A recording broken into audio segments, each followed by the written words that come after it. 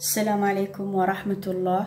بهذا الفيديو نموذج أسئلة التربية الإسلامية للصف الأول متوسط أسئلة امتحانات نصف السنة.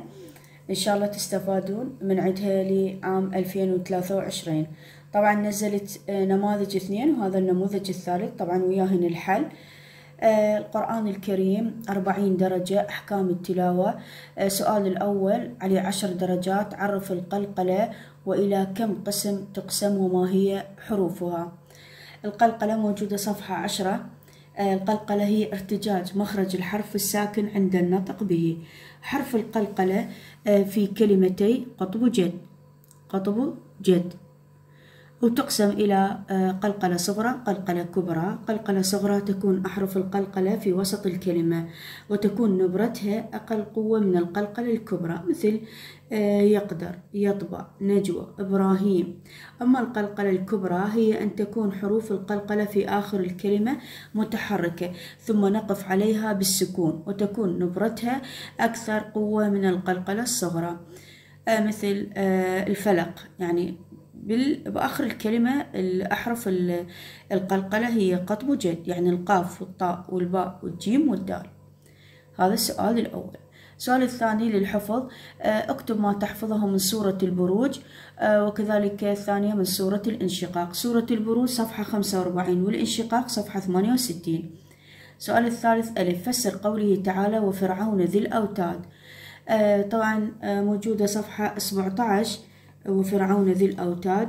نقول نقول وكيف فعل بفرعون ملك مصر صاحب الجنود الذين ثبتوا ملكه وقووا له أمره. هذا تفسيرها موجود صفحة 17 أبا أعطي معاني خمسة من الكلمات الآتية. والليل إذا يسر. والليل إذا يسر يعني مقبلا أو مدبرا. زين. فملاقيه أي ملاقي ربك بعد موتك وبعملك خيره وشره. زين. يأكل الحسنات يذهبها. من سنة سنة وضع طريقة شرع شريعة. الأخدود الأخدود الشق العظيم في الأرض كالخندق. البر اسم جامع للخير كله العمل الصالح. زين الحديث النبوي الشريف سؤال الرابع. اكتب حديث نبوي شريف في الصدق والكذب. هذه موجود صفحة خمسة وخمسين. زين صفحة خمسة وخمسين الحديث. هسه عندنا الأبحاث. السؤال الخامس ألف. أجب عن أربعة.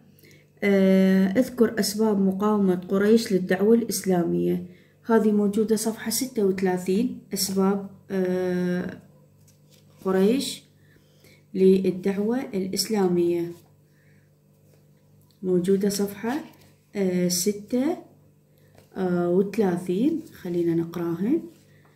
أسباب مقاومة قريش. أسبابها وجدوا تستهدف شركهم وثنيتهم ووجدوا فيها قضاء على التقاليد التي توراثوها عن آبائهم. وأجدادهم وتنسب الجهل إلى هؤلاء الآباء والأجداد. ووجدت قريش في الدعوة الجديدة رفعا لشأن الضعفاء من الحلفاء والأرقاء ومساواتهم بالسادة الأقوياء من قريش. زين. آه شنو بعد عندنا؟ باء عرف القرآن الكريم وما معنى منقول آه بالتواتر. آه هذه آه موجودة صفحة اثنين وخمسين. القرآن الكريم لما أهمية القرآن الكريم. القرآن الكريم القرآن هو وحي الله المعجز المنزل على نبيه محمد صلى الله عليه وسلم المكتوب في المصاحف المنقول عنه بالتواتر يعني المتعبد بتلاوته المبدوء بسورة الفاتحة والمختم بسورة الناس.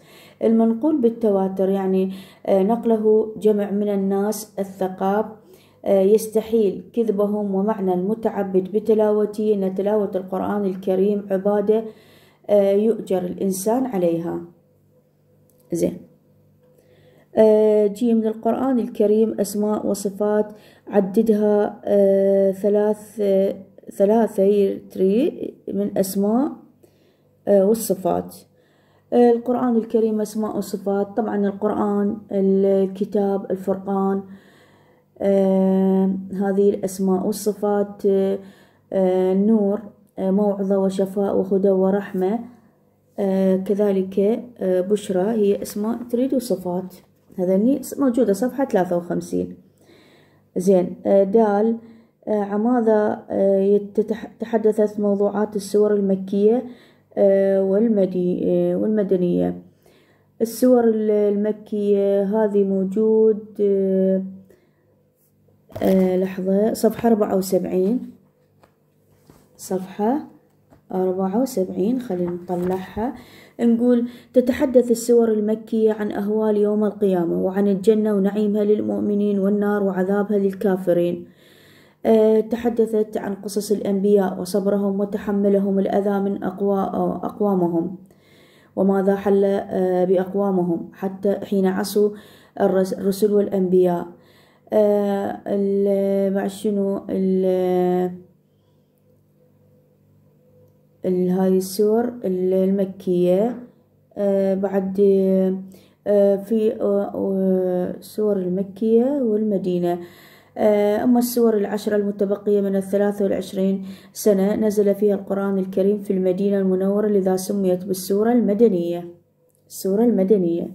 ما هي الغاية من الوضوء؟ الغاية من, المو... من الوضوء موجود صفحة تسعة وسبعين. الغاية من الوضوء. نقول الوضوء هي تهيئة النفس الإنسانية تطهير القلب من كل إثم وحقد واستعداد للقاء الباري في أفضل هيئة استشعار لهيبة اللقاء وعظمة الخالق وإدراك لعظمة الدين الذي ينقى الإنسان من كل درن ووسخ. موجودة صفحة 79 لهنا ويخلص الدرس مالتنا وإن شاء الله التوفيق.